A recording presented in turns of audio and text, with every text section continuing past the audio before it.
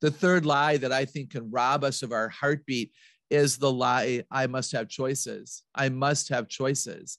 Now, those of us who are older know that choice is a privilege, but you young girls, especially if you're using a lot of technology, might believe the lie that choice is your right. And so, again, do we argue and do we complain and we're never satisfied? Uh, I think that that's so, so possible. How many of you, here's a question again, no judgment at all. How many of you have a hard time focusing? Uh, do any of you just let me show look at that quickly? I'm going to go to the second screen here on my laptop. Keep your hands up for me if you have a hard time focusing. I love that the parents are participating. The girls, you know, because see, girls, your mom has her hand up, and so do the dads.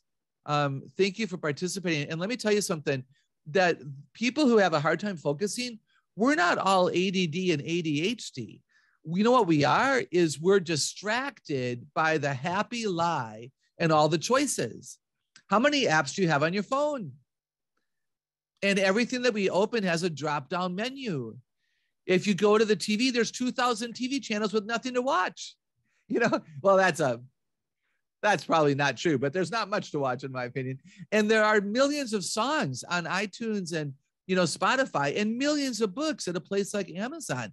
And so we're inundated with choice. We think we have a right to be happy. We're trying to be the center of our own universe, and we're going to be miserable at the end of that because it's not possible. And I want to say to girls that obedience is a blessing. And when your dad serves steak from the grill, eat the steak and don't wish it was chicken.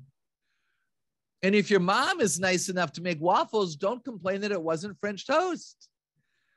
You know, and if your teacher, you know, I don't know if you guys are homeschooled or public or private school, but if you're asked to, you know, write an essay with 300 words, don't complain that there should have been only 200. Write the essay with 300 words.